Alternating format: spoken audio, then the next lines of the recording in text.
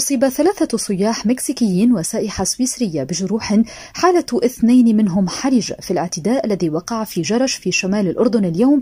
ونفذه شخص تمكنت القوى الأمنية من توقيفه بحسب ما أفاد الناطق باسم مديرية الأمن العام.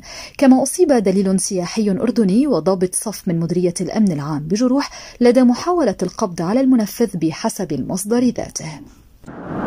ذكر التلفزيون الإيراني أن طهران بدأت ضخ غاز اليورانيوم في أجهزة الطرد المركزي بمنشأة فوردو النووية المقامة تحت الأرض وذلك في إطار التقليص التدريجي لالتزاماتها بموجب الاتفاق النووي الموقع مع القوى العالمية في عام 2015 ويحظر الاتفاق ضخ المواد النووية بمنشأة فوردو التي سيتحول وضعها الآن بعد تلقيم الغاز في أجهزة الطرد المركزي من محطة أبحاث مصرح بها إلى موقع نووي نشط.